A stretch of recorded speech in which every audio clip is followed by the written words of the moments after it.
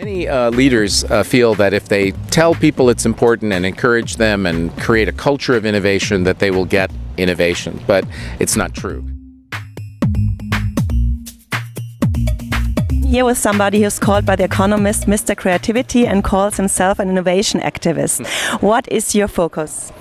My focus right now is trying to get uh, innovation to be a global agenda, uh, to define and drive a global agenda for innovation.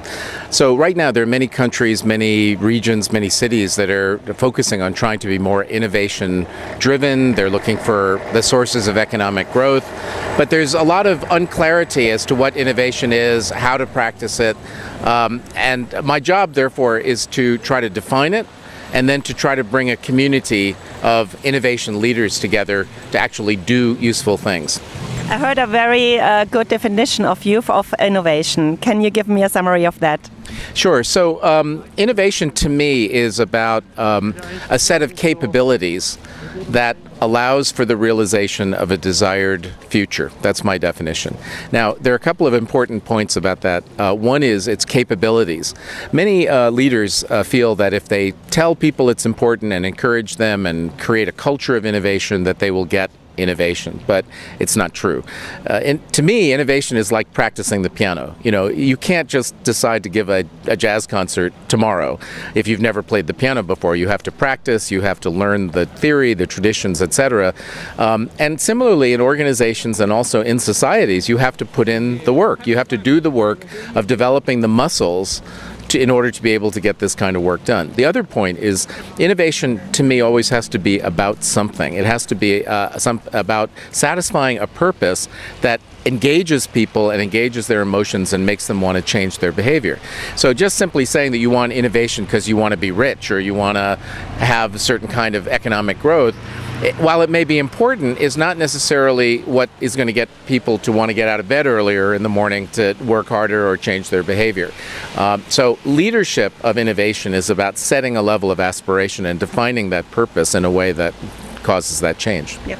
Everybody, companies, and also governments strive for innovation. Where do you see the greatest lacks here?